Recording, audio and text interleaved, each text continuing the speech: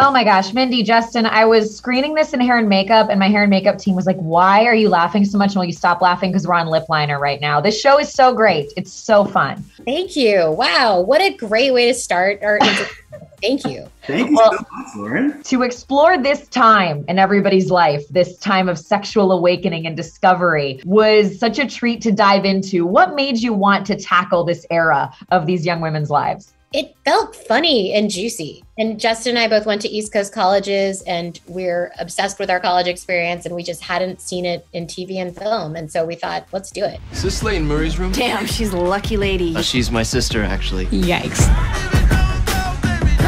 do not have sex with any of my roommates. She's not used to guys like you. You should have seen the boy who came to visit her. He looked like a goat.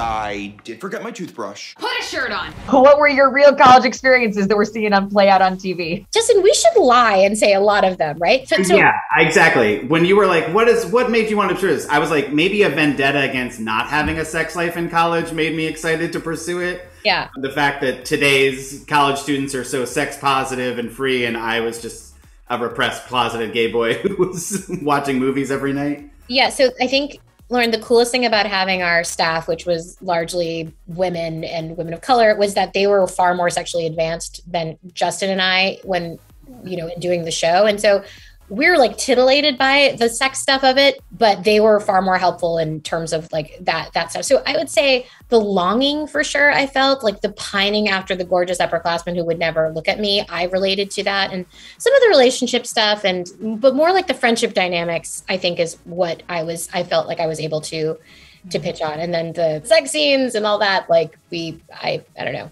some of the traditional qualities that you find at these old East Coast schools too, like the college I went to was a college where they did have naked parties, like we see in the second episode of this show. Yeah, Travis is contouring my body. He's using makeup to subtly enhance my banging bod. It's impressive, right? Yeah, nobody has that many abs. Yeah, those lines are way too dark. All right, you look like a xylophone. Uh, check yourself. These are professional grade tools that I bought gently used on eBay. But why are you doing this? Because I'm going to a naked party. So that was definitely something that we pulled from the real world. It's just one of those things where I've never heard anyone ever talk about that again. And they treat it as if it's something normal to be like, it's like a party, but everyone is just fully naked. And I went to a really fratty college, and that was like the entire social scene was frats. So we, you know, that that was sort of based on on some like actual real life experience. So some of it was a little living vicariously. Like I, I agree with you. I, am like I look at kids today, and not that they don't have problems they're dealing with, but the sex positivity they just talk about it. It's so great.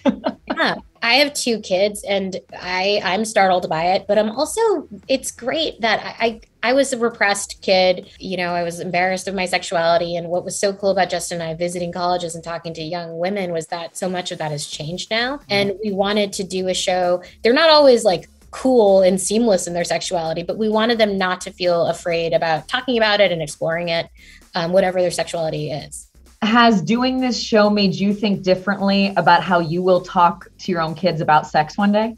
Oh, that's a great question. I mean, I the idea of talking to my children about sex is so I think I'm just going to not talk to them about sex. Is that healthy? Is that okay? Justin, can you talk to them about sex? I think that's should we trade off? My husband and I have just started talking about having kids in the distance, so I feel like I have a good many years to decide how to handle this, but yeah, I think we can we should start a company where you bring in a specialist. A specialist you can talk to about your children. Or I guess I could just like put on like make them watch Superbad or something. Like they'll watch a Judd Apatow movie. They'll learn about sex through a Judd Apatow movie. You know him, right? So that's good. You're like, Judd, you're on it. By the way, what is it like to get those comparisons, which I feel are inevitable, but are, are certainly likely complementary to another iconic show about four women and sex, Sex in the City? You're the first person who's made that comparison actually. Really? Oh i feel like when we were talking about it in our office everybody's like it's sex in the city but modern in college so fun. Like just that comparison of women talking about sex which is great. And when i, I talked to your incredible actresses about it they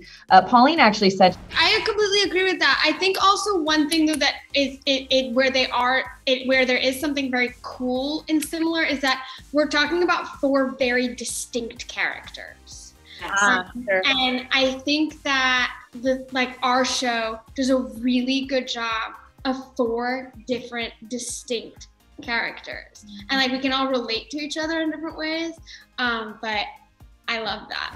That show is iconic. I think I've watched every episode. I'm really excited about the new extension series that's coming out soon. One thing that they've nailed was just like these authentic friendships between women. In that show, they came in as friends already. And, you know, in our show, we wanted to do four people who would never have been friends with each other and see how they warm up to each other and learn to really depend and rely on them emotionally. But that side of it, you know, Sex and City, they it was obviously a sexy show about fashion, but dealt with things like taking care of like divorce and cancer and and breakups and heartbreak. And, and i think that that's really inspirational to us. They're bringing the real with the with the fun. Mindy i i asked these young women what are you taking away from working with someone like mindy who worked her way up in these writers rooms and did so much for women in comedy? What is the best part of having mindy kaling as your boss? Everything. Yeah, like, what could not be great about that? Yeah everything. Hardworking, funny, yeah. With it, um, sassy, cute, like like uh, amazing woman, and like she's got them ready. and also serious. How many brown girls have a dream of working with Mindy Kaling, and I get to say that I I'm, I'm one of them. That's a dream. Being where you are now, creating shows like this, what advice would you give that college age Mindy? College age Mindy? Oh my gosh. I think when I was in college, and Justin and I talk about this all the time, I was so focused on achieving and being ambitious. And I felt like at 18, I felt like time is slipping away from me, which is absurd. And I think I would have said, you don't have to be so thirsty. You are very young and life is long. But, you know, when you're young, you're so impatient. And I think I was just, like I said, just like cringe, cringeworthily just thirsty and ambitious and and I think I would have liked to have relaxed a little. Mm, Justin, agree? Anything else? Oh boy. I mean, I was like a closeted gay boy in college, so my go-to answer is obviously like I would go back and be like, "Come out now. You're going to regret this. Like you you could be having so much more fun. You're going to be married young."